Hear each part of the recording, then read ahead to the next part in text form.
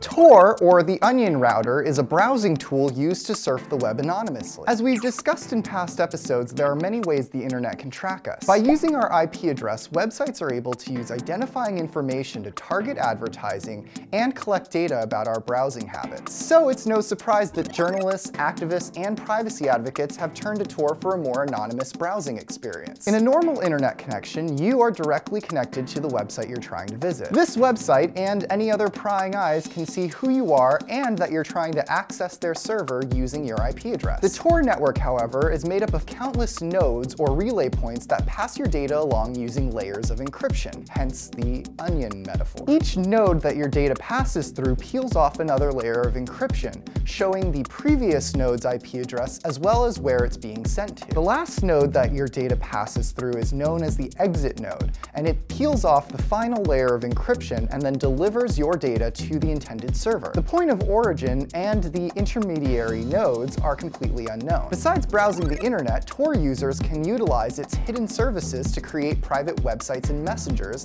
that can only be found using the Tor browser. These private sites, which are part of the dark web, are where pages like the internet black market Silk Road can be found. However, not all activity on Tor is for nefarious purposes. Anonymous internet usage can be important for journalists who are reaching out to sources, uh, activists who live in countries that censor or block internet usage, and even law enforcement officers who use it for undercover operations. But nothing is perfect, and while onion routing makes it harder for hackers and spies to track your activities, it doesn't make it impossible. There are still ways attackers can view activity on the network and extract data from vulnerable entry and exit points, especially if Tor users aren't diligent. So should you use Tor to browse the internet?